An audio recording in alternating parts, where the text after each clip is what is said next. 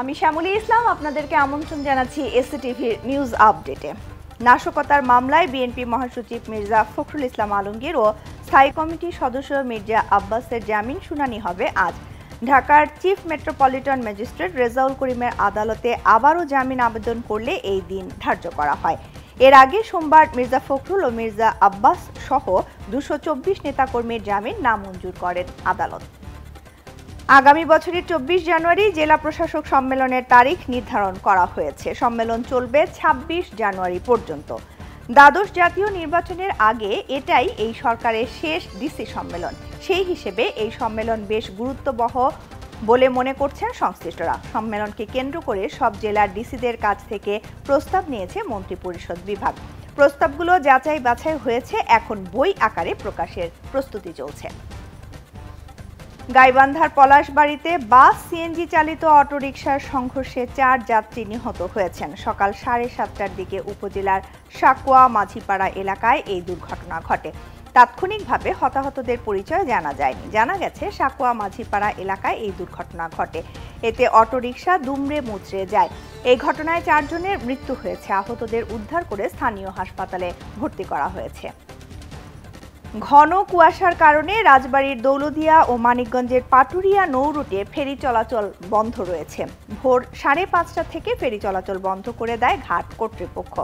দৌলদিয়া ঘাট শাখার ব্যবস্থাপক জানান, ভোরে পদ্মা নদীতে কুয়াশার ঘনত্ব বেড়ে যাওয়ায় ফেরির মার্কিং বাতির আলো অস্পষ্ট দেখাচ্ছে। এ সময় দুর্ঘটনা এড়াতে ফেরি চলাচল বন্ধ করে দেওয়া হয়েছে। তিনি আরও জানান, যাত্রী ও যানবাহন নিয়ে মাছ নদীতে একটি ফেরি নোঙর করেছে। কুয়াশার ঘনত্ব কমে এলে পুনরায় দৌলদিয়া পাটুরিয়া নৌরুটে ফেরি চলাচল স্বাভাবিক হবে দর্শক, এবার থাকছে দেশের বাইরের খবর। সংযুক্ত আরব আমিরাতের পর এবার ওমান গোল্ডেন ভিসা চালু করেছে। বিশ্বকাপ ফুটবলকে ঘিরে মধ্যপ্রাচ্যে এখন সারা বিশ্বের মানুষের নজর। এই সুযোগে সৌদি আরব, কুয়েত, কাতার ও বাহরাইনের ভিসা পদ্ধতিতেও ব্যাপক পরিবর্তন আনা হয়েছে। বিত্তবান ও বিভিন্ন বিষয়ে বিশেষজ্ঞ বিদেশিদের আকৃষ্ট করতে দু হাজার উনিশ সালে সংযুক্ত আরব আমিরাত গোল্ডেন ভিসা চালু করে। এর সুফল পেয়েছে দেশটি।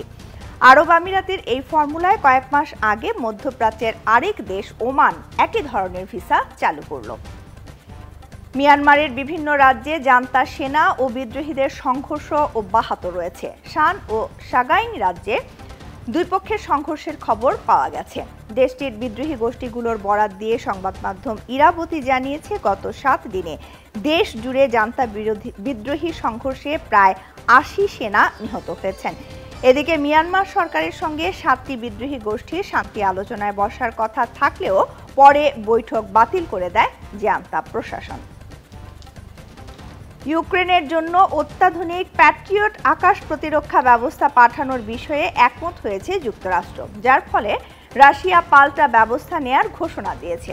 জরুরি ভিত্তিতে অনুরোধ করার পর যুক্তরাষ্ট্র কিয়েভে প্যাট্রিয়ট আকাশ প্রতিরক্ষা ব্যবস্থা পাঠাতে যাচ্ছে। রাশিয়া যুক্তরাষ্ট্রের এই সিদ্ধান্তের প্রতিক্রিয়া জানিয়েছে। ক্রেমলিন বলছে, প্যাট্রিয়ট আকাশ প্রতিরক্ষা ব্যবস্থা রাশিয়ার জন্য বৈধ টার্গেট হবে। অর্থাৎ ইউক্রেনে এই অস্ত্র পাঠাতলে তাতে হামলা চালাবে রাশিয়া এবং সেই হামলা হবে বৈধ। এবার জানাব মাঠে ময়দানের সংবাদ। পুরো ম্যাচেই যেন আক্রমণের পশরা সাজিয়ে বসেছিল মরক্কো। কিন্তু গতিশীল ফ্রান্সের সামনে কাজে আসেনি সেই আক্রমণ। গোল করতে পারেনি বিশ্বকাপের মঞ্চে প্রথমবারের মতো সেমিফাইনালে ওঠা আফ্রিকান এই দলটি। শেষ পর্যন্ত কাতার বিশ্বকাপে চমক দেখানো মরক্কোর বিপক্ষে দুই শূন্য গোলে জয় নিয়ে টানা দ্বিতীয়বারের মতো ফাইনালে উঠল ফ্রান্স। আগামী রোববার লুসাইল স্টেডিয়ামে আর্জেন্টিনার বিপক্ষে ফাইনালে মাঠে নামবে দেশমের ফ্রান্স। শেষ করছি নিউজ আপডেট, বিস্তারিত দেখতে চোখ রাখুন এসটিভির দুপুরের সংবাদে।